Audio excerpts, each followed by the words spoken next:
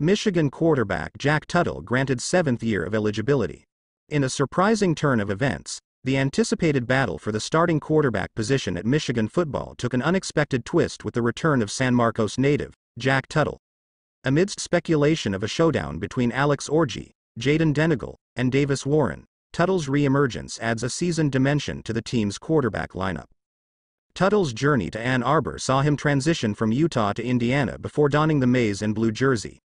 Despite limited playing time last season, Tuttle showcased his prowess with 15 completions out of 17 attempts, amassing 130 yards and securing a touchdown.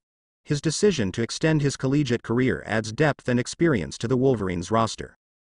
As Tuttle embarks on his seventh year, his leadership qualities shine through, having previously captained the Indiana team during his tenure in Bloomington. While his statistics at Michigan may not match his previous achievements, Tuttle's return bolsters the team's cohesion and provides invaluable mentorship to emerging talents.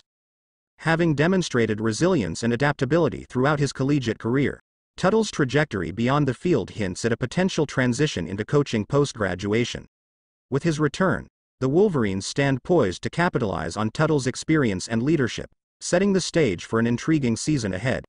Originally reported on Wolverines Wire.